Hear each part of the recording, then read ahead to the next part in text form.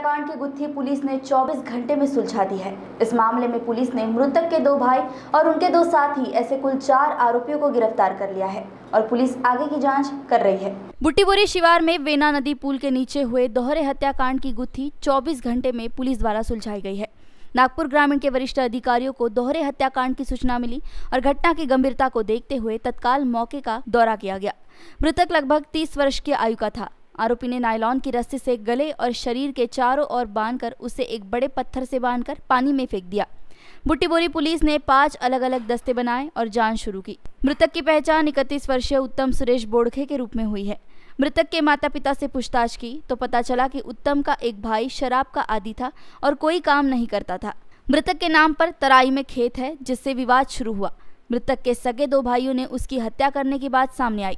इस मामले में पुलिस ने दोनों भाइयों और उनके दो साथियों को गिरफ़्तार कर लिया है। आगे की जाँच की जा रही है। त्यांनी त्यांच्यावरती म्हणजे त्याला कट तयार करून त्याला त्यामध्ये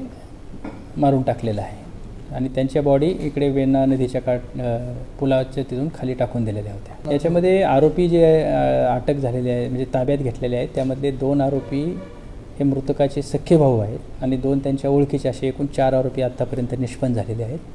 आणि त्यांनी हा जो मृत्यू म्हणजे ते- यांना जे मृत्यू घडून आणला आहे हा चारचाकी वाहनामध्येच त्याला मारून दोघांना पण मारून आणून टाकलेला आहे. ते पती पत्नी नाही आहेत त्यांचे दोघांचे लग्न झालेले होते. त्याच्यामध्ये जी मयत महिला आहे तिला दोन मुलं आहेत.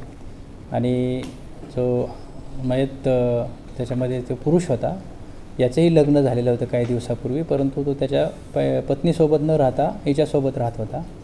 आणि यामध यावरून त्यांच्या भावांना त्याचा रोष होता की त्यांच्या लग्न जमवणं किंवा गावामध्ये त्यांची खूप बदनामी झाली. आणि त्यामुळे या हत्यामध्ये ते एक अँगल आहे तरी त्याचा तपास आम्ही करतो. नाही अजून तो तपास चालू आहे. तपासात जे निष्पन्न होईल त्या पद्धतीने. नाही ते दरम्यान ते ते तपासात होईल परंतु त्यांचे हत्या वाहनातच झाली अशी आत्तापर्यंतची माहिती आहे. बोलवण्यात आलेले आहे तिकडे. हां त्यांचं हां आत्तापर्यंत ते कट झाला. तर कट त्यांचा होता की याला तिकडे बोलून घ्यायचं शेतीसाठी. आणि शेतीच्या व- याच्यावरती हा पण तयार झाला त्यांचे वाद असल्यामुळे. आणि नंतर ते एकत्रित आलेले आहेत. म्हणजे मयत आणि आरोपी. आरोपी राहुल सुरेश बोडखे आणि खुशाल सुरेश बोडखे. दुसरा विजय वसंतराव बोडखे आणि आकाश अशोक राऊत. हे अजून ताब्यात घेऊन त्यांचा अटक करत आहोत. त्यानंतर पिशीवर वीकेबी न्यूज के लिए कैमरा पर्सन रोशन बोकड़े के साथ वैदेही चौहान की रिपोर्ट.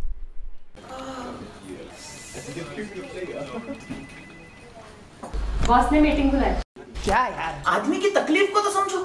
बाहर बाहर उठो बैठो उठो बैठो। जनाब तकलीफ़ उठने बैठने की नहीं तकलीफ़ बवासीर की है। बवासीर फिशर भगंदर पाइलोनियल साइंस का आयुर्वेद तथा आधुनिक लेजर से उपचार। अभ्युदय पाइल्स लेजर हॉस्पिटल लोहार समाज भवन के पीछे महापुष्प सोसाइटी शताब्दी नगर चौक से मनीष नगर रोड नागपुर। कॉल और विज़िट करें www.pilesfistulacure.com